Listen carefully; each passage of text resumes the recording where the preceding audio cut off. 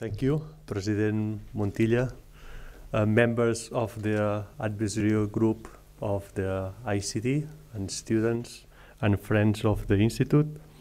Thank you and good morning. First, I want to express my gratitude to the Institute for Cultural Diplomacy for inviting me to give me the opportunity to uh, discuss uh, about uh, the role of universities in Catalonia. And do so in this important conference, the annual conference of the Institute, and with such a relevant audience. So thank you. University, honoring the word and the etymology of the word, universitas, is a universe of knowledge, a place where knowledge is born grows and is transferred. Actually, university takes on its full meaning by transferring knowledge to students. Students that become well-trained future professionals to the socioeconomic uh, sector, contributing to innovations that increase the added value of products and services. Students that become wise, free, and socially committed citizens with an increase of quality of life and a better knowledge that make us more cultured. Through its activity, university makes a decisive contribution to the development of a community and its social, cultural, and economic revitalization. But above all, university is an educational center in this case, a center of higher education. According to the University of Girona, a professor and philosopher, Joan Manuel del Pozo, we could define education as the impulse that people give to increasing the knowledge of others in order to guide them in the experience of living on the basis of a fond and tender relationship and on certain human and social values. An education in values aspires to be an education in all the aims and objectives that are worthy of our attention and stimulate life. Values that become rights, rights that are demanded by the society.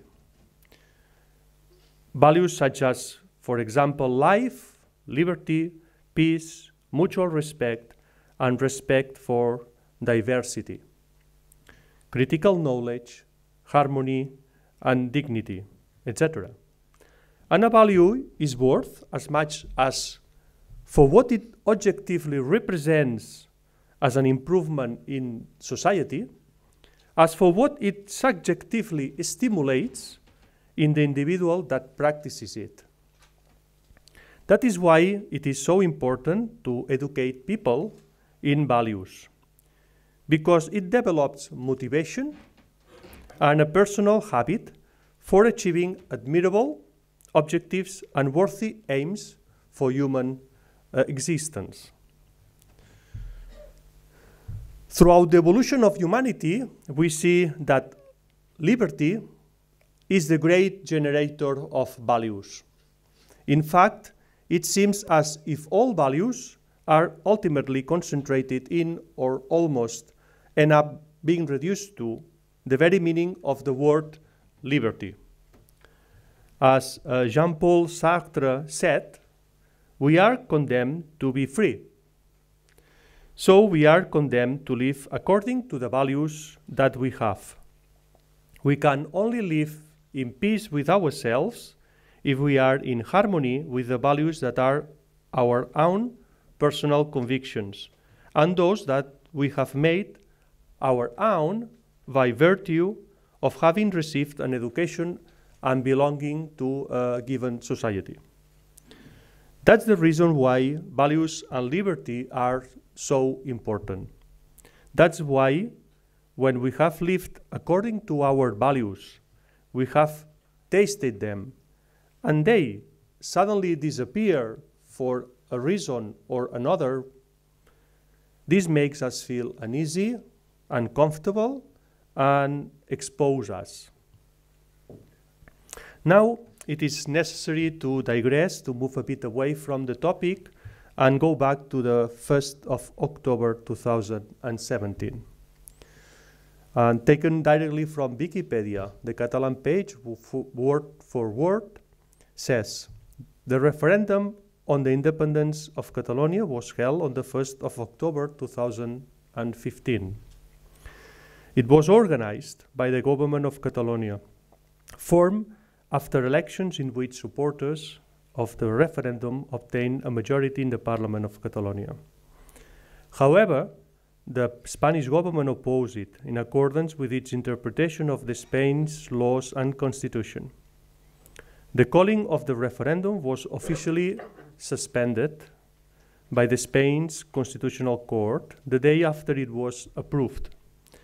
But the Catalan government continued organizing it, basing itself on the referendum on the Self-Determination of Catalonia Act approved on the 6th of September 2015.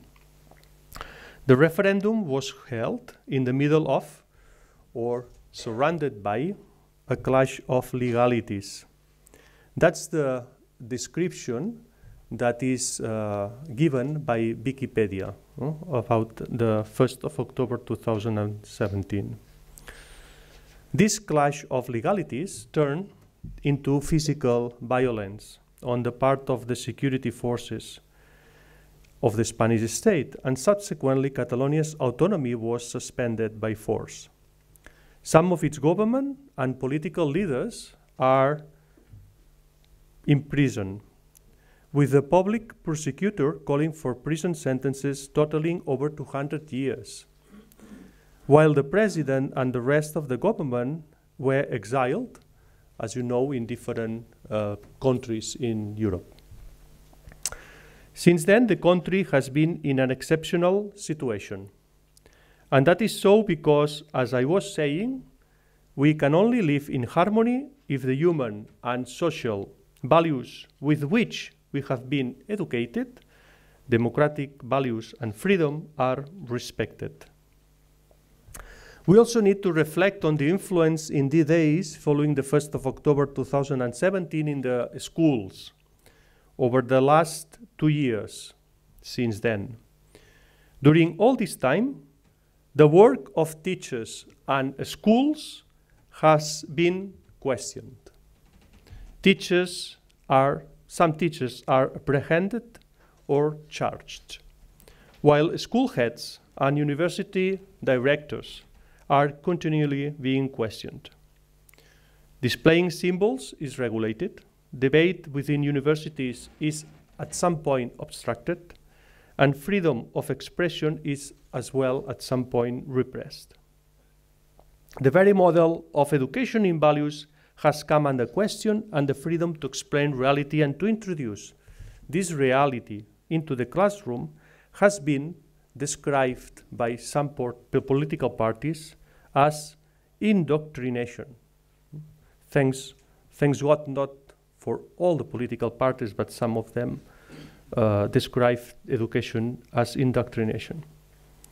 In that regard, it is appropriate to quote the philosopher John Dewey, who reflected a great, a great deal on the relationship between education and politics.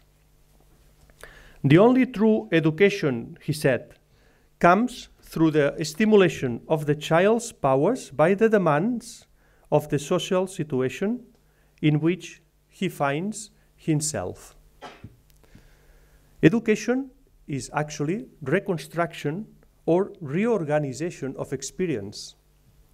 In other words, Dewey suggested that the life, the social activities, and the environment in which a student moves should enter the education center. Education cannot remain outside society as a tower of ivory. Education must be a terrain in permanent transformation, as is democracy itself. The 1st of October was a crucial day, a very significant one in Catalonia. not just a minor day that passed by unnoticed. It is therefore important to be talked about. It is important that the questions asked by students can be answered appropriately. It is important that people can talk about it normally in schools and in universities. So here I want to assert the right to foster the capacities of students according to social demands because teachers have the right and the duty to do so. In the days before and after October the 1st, there were voices supporting these intrinsic duties as part of the teacher's role.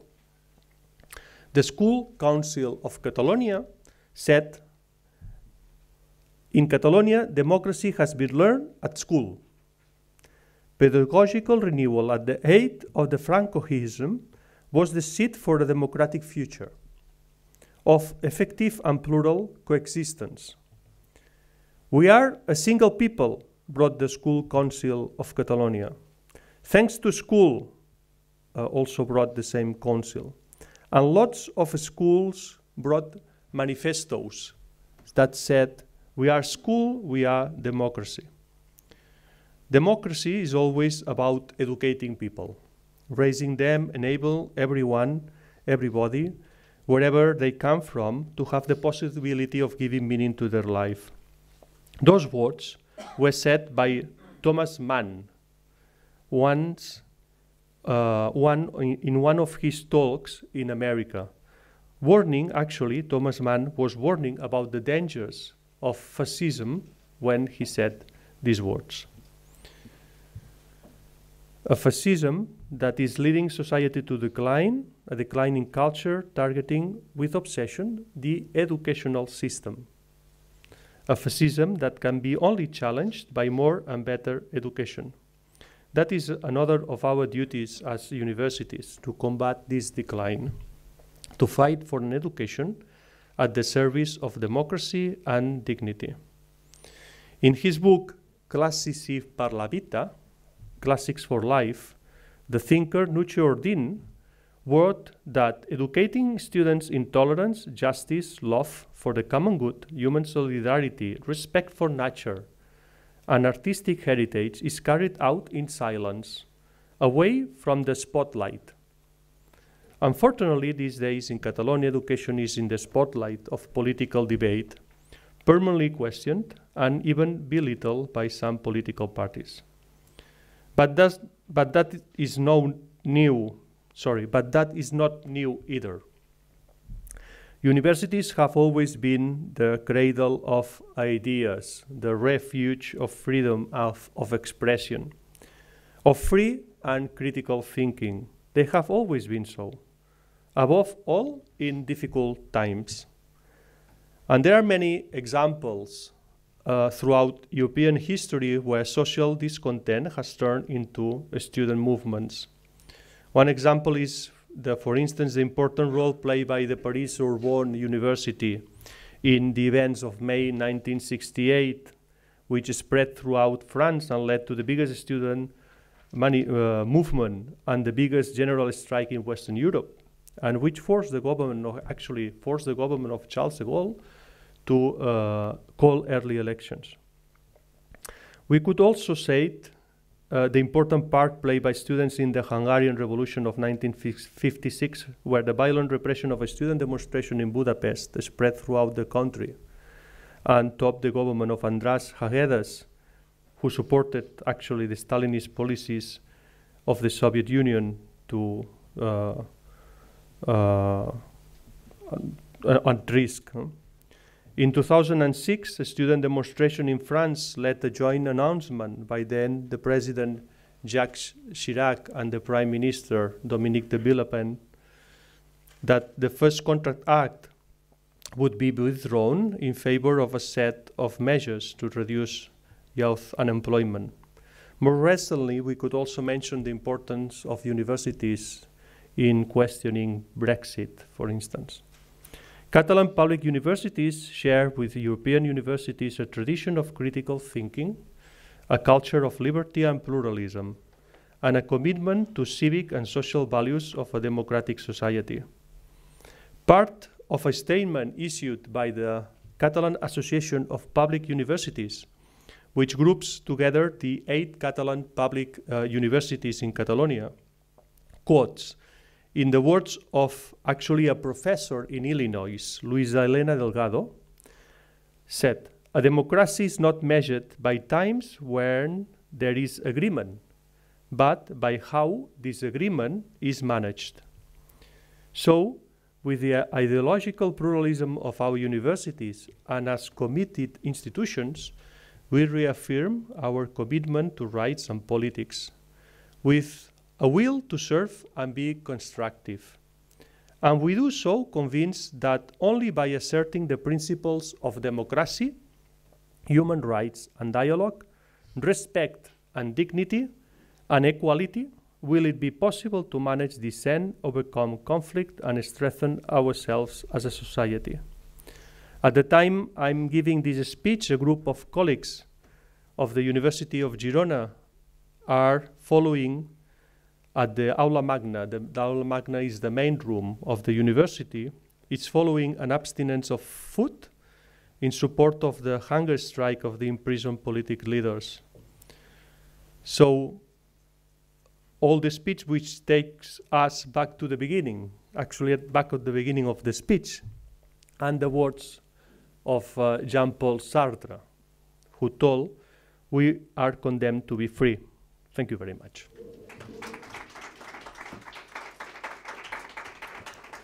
Well, for this is my, uh, my opinion, but I, I am an academic. I'm not uh, politic uh, in this sense. So I can only speak from my academic point of view, okay? And this is uh, my way of, uh, well, we have a, a country, uh, let's say Catalonia, a country that has a language, Catalan, and, um, and this is the, actually is the language of Catalonia, okay?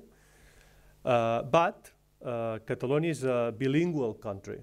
We have a second language. The second language is Spanish. Okay, Spanish is the official language of all the Spain, and the two languages, Catalan and Spanish, are official languages in Catalonia. Okay, the two languages.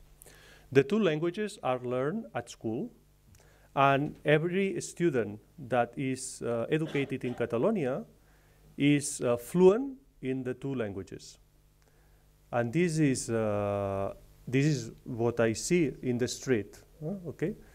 But it's also true, it's also true that uh, the influence of uh, Spanish language, uh, since Spanish is spoken, it's, it's a language that has been uh, many millions of people speak Catalan, is present in the media, is present in the TV, is present in the radio, in Catalonia.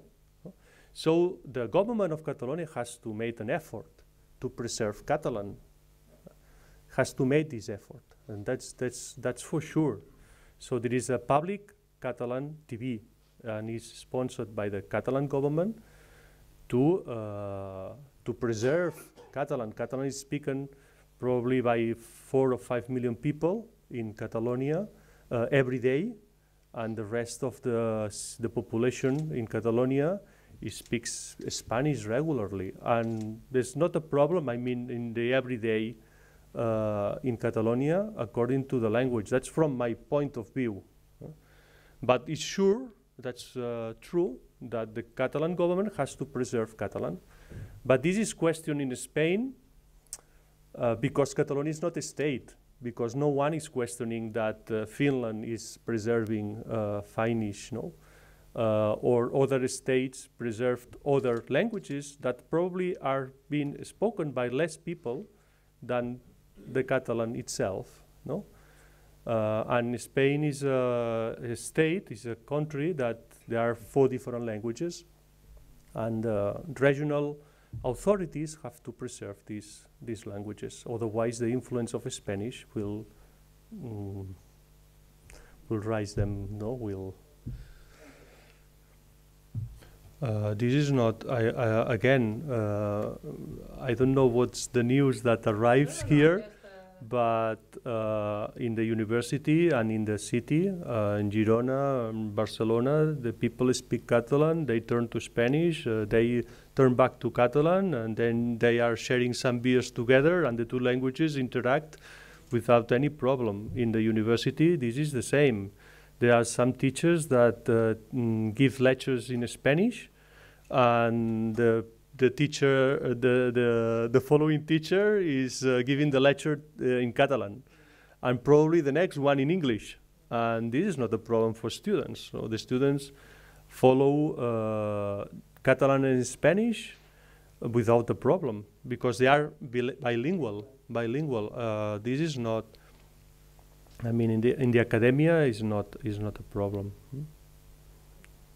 Of course, there are probably some people that they want to change from Catalan to Spanish or from Spanish to Catalan. They are always uh, people narrow-minded, I would say, uh, in this sense. But in the but in general point of view, this is not. I mean, the society. Mm, this is with uh, with respect to the languages is not. A, is not. I guess it's not a problem. Well, I think all, all, all the people is have, have the right to express and to, uh, to express the, their position. Uh, I think Catalonia is only asking to, to allow the people to express their opinion. All the citizens, all the people, not a part of the people, all the citizens. Um, so this is, uh, this is something that is, has been happening in the world for ages. Can you imagine Europe before the empires, the Austro-Hungarian Empire, for instance, or the Ottoman Empire, or the French Empire? How has been changed Europe in the last uh, 80 years? A lot of countries, and this is uh, the evolution of humanity. I mean, there's no there's no way to oppose uh, against this. It's democracy. Democracy is allow the people to express their opinion. And I think Catalonia is not asking for the independence. Catalonia is asking for a referendum to allow the people to express their opinion. And well, this is my personal view. Uh, um, yeah, probably this is the politics should answer these sort of questions, but from the economic point of view, I think uh, this is what uh, the society is asking for. Any other question? No? So then thank you very much for attending the presentation. Thank you.